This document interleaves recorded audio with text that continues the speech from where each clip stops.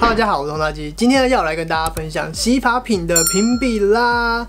距离上一次呢，差不多是两个多月前。为什么可以这么快跟大家分享呢？原因就是因为有两罐洗发精的墨数都不大，都属于小墨数的。在这次的洗发精呢，都没有改善洗的洗发精，所以在洗的时候呢，我就邀请烘弟还有烘妈一起来洗，所以洗的速度会比较快一点。然后有两支洗发精啊，三三分之一没有全部都洗完。以往跟大家分享的洗发精评比里面的洗发精啊，是全部都洗完，洗到真的就是完全见底，才来跟大家分享。好，那话不多说，马上开始吧。第一支呢是这支阿奎亚的净水复活洗发精控油款。上一支的洗发精评比影片里面有跟大家分享保湿款的，这款呢是控油款的。必须说，我觉得控油款跟保湿款洗起来呢，真的差不多。我觉得没有特别的不一样的地方。包括控油的部分呢，我觉得控油款跟保湿款也差不多。那这款呢，它有标榜净味平衡技术，上次有跟大家分享过，然后防止异味啊、保湿啊、柔顺啊等等的，然后标榜无细鳞嘛，它有添加快木精粹，它的香味呢我还蛮喜欢的。再来呢，控油款它有添加薄荷精粹。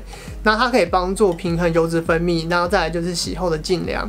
那我个人觉得洗后净凉的这个部分呢，我是觉得没有太大的感觉啦，对我来讲，因为可能我之前洗男性洗发精呢，男性洗发精洗后的净凉感是真的蛮明显的，但是它跟男性洗发精比起来呢，净凉感很低这样。再来这次的泡泡量呢，不是属于多的，但也不是属于少的，就是介于中间刚刚好。然后泡泡很细致，也很好冲洗。然后再来就是它的香味是属于偏香的，所以如果你是对香味过敏的人呢，可能要注意一下，洗后是呈现一个保湿微顺的状态，它洗起来呢不太像是控油型洗发精的感觉，然后它不会有那种干涩感，也不会有那种干干的感觉，它洗完呢比较像是保湿度偏低的那种保湿洗发精的感觉，然后头发呢是呈现一个根根分明顺的状态，带有蓬松度，然后这支的保湿度呢，我个人是觉得有落在中度，以控油型洗发精来说呢，我觉得它的保湿度呢表现的还不错，最重要的持久度的部分呢，我个人觉得以控油型的洗发精来说呢，这一支呢，我觉得表现的不是很稳定，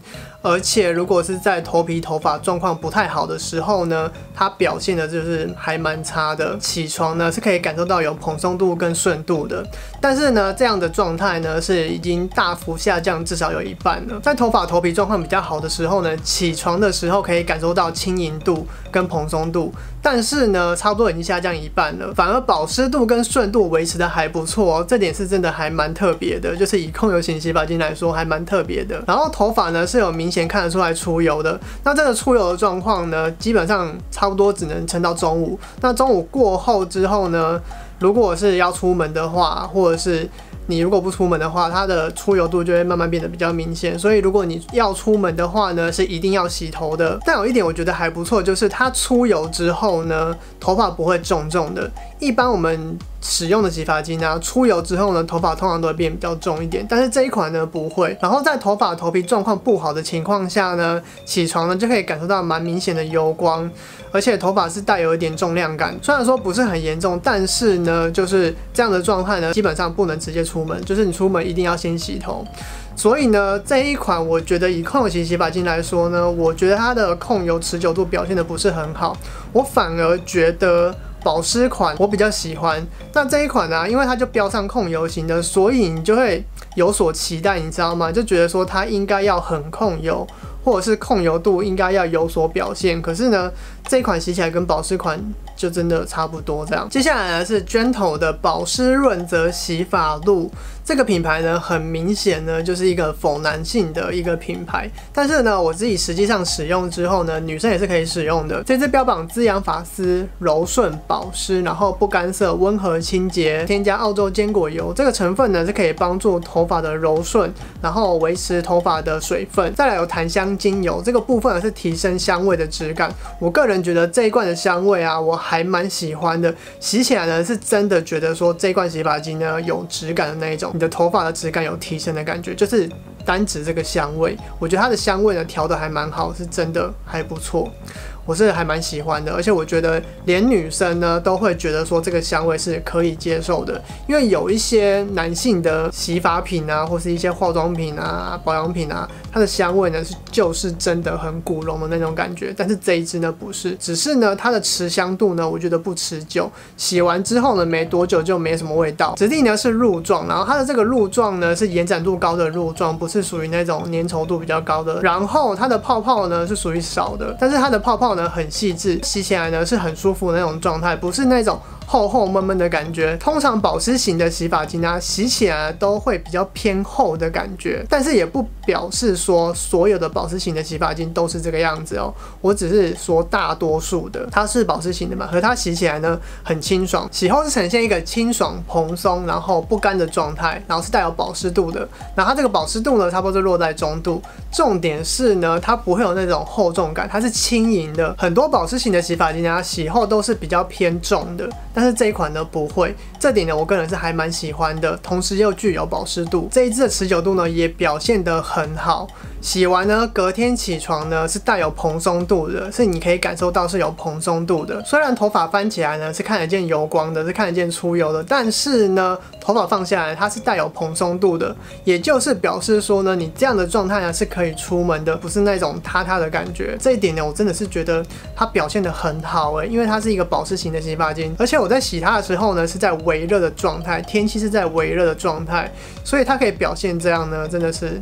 我觉得表现的很好。出门之后呢，它的这个状态差不多可以维持到下午。所以呢，如果你是早上出门、下午回家的人呢，基本上呢，起床之后可以不用洗头。再来就是它非常的温和，就是在我头有长痘痘的时候呢，我洗也是安全的过关。跟一般的洗发精比起来呢，它的容量呢是比较少的，它的容量呢只有两百五十 ml，比一般的洗发精还要来得贵。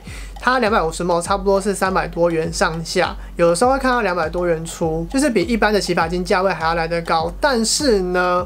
我觉得它带来的效果呢是完全值这个价钱的。整体来说呢，以保湿型的洗发精来说呢，这一支呢它的表现呢是真的让我很满意。接下来是这支舒科的绿茶净化调脂控油洗发素。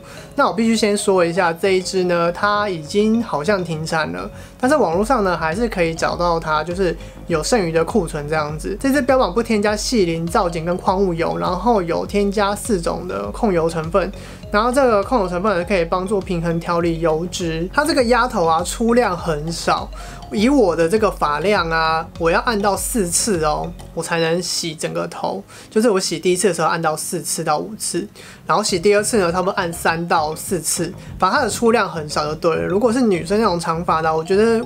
要按到十几次才可以，这点呢，我觉得真的是一个蛮大的缺点。然后再来呢，它的质地呢还蛮细致的，带有绿茶的香氛。然后它的泡泡呢属于偏少的。再来呢，它的泡泡是还蛮细致的，洗的时候呢是带有点微凉感，是舒服温和的，不是那一种不舒服的凉感，也好冲洗。然后洗后呢呈现一个顺的不干的状态。重点是呢，头发是带有细致度的，它的洗后感呢，我个人是觉得还不错，表现的还不错，我个人是还蛮喜欢的。我觉得这一支它从质地，然后洗的过程中，洗后都表现的很好。但是呢，仅此于此。这次的清洁度是属于中低的，所以在洗造型品的时候呢，会很辛苦。那一般在洗没有造型品的时候呢，像我是油性头皮嘛，但是我出油状况比以前好很多。我不是出油量很旺盛的那一种油性头皮。以我这样的状态来说呢，洗起来呢，其实就是有一点辛苦了。那如果是洗造型品的时候呢，又更辛苦。所以在洗造型品的时候呢，我不会用这一支。再来，我很 care 的控油度呢，这一支呢表现的。真的不行，就是以控油型的洗发精来讲，毕竟它是有标榜它是可以调脂控油嘛。以控油型的洗发精来讲，这支真的是不合格。隔天起床呢，头发是可以看得出来有明显油光的，翻起来看也是有明显油光的，然后是属于它的。那这样的状态，基本上就是不能出门，然后。就是一定要洗头才能出门。那洗头出门之后呢，它的这个控油度也表现的不是很好。就是没多久，可能到了下午吧，就可以感受到头发就是逐渐感觉到蛮塌的感觉。所以控油度的部分呢，我觉得表现的不 OK。但是呢，它有一点表现的还不错，就是它的细致度，它的细致度的持久度呢，我觉得维持的很好。即使头发是出油的状态啊。头发摸起来还是细致的。整体用下来呢，我觉得这一支比较适合干性发质，还有冬天的时候使用。不过我觉得有更好的选择，再来是美无法这个马鞭草清新水漾洗发露。他们家这个系列啊，我已经用过小苍兰，然后还有白茶茉莉跟鼠尾草海盐。然后呢，这款是马鞭草的这个系列呢，它的价格差不多都是在一百多元，然后有八百五十梦。然后这支呢，它是标榜零系零，然后 pH 五点五，平衡酸碱值，然后草本植萃。这支的泡泡量是属于偏多的，也很好冲洗。它的清洁度差不多落在中度，我个人觉得有偏上一点点，就是中偏上一点点，洗起来也温和很舒服。然后我洗比较久的时候呢，也不会有那种过度清洁的色感，那种过度干净的色感。但是呢，小苍兰那一款呢，就会有。那种过度干净的色感出现，那一款的清洁度真的是还蛮高的，就是跟这款比起来的话，洗后呈现一个清爽、蓬松、轻盈的状态，然后不会有那种干燥感。如果头发有上造型品，上的量不多的话呢，这一支呢也可以很轻松的洗掉。但是如果你上的比较多的话呢，这一支呢就要洗比较久。但是呢，也不会洗得特别辛苦。持久度的部分呢，我觉得这一支表现的还不错诶，这点有让我意外，有让我惊讶到。洗完隔天起床呢，虽然说发根有出油，但是是属于不严重的。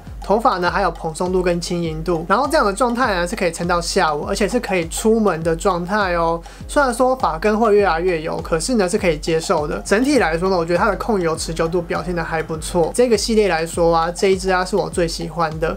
以我油性头皮来说，以我自己的头发头皮状态来说呢，我觉得它的效果平衡的还蛮好的，特别是它的温和的清洁度跟控油度。好，那以上呢都分享完了，我现在来跟大家分享我最近的近况。好了，因为我好像都没有跟大家分享说我的生活的部分啦，或者是我生活的近况是如何这样。最近呢，我又重回线上游戏的怀抱了。我现在讲的不是夜配哦，真的不是夜配，因为最近啊，如果大家有在看我的那个 IG Story 的话呢，就知道就是我最近在玩天堂 W。那为什么会玩呢？为什么又重回线上游戏的怀抱呢？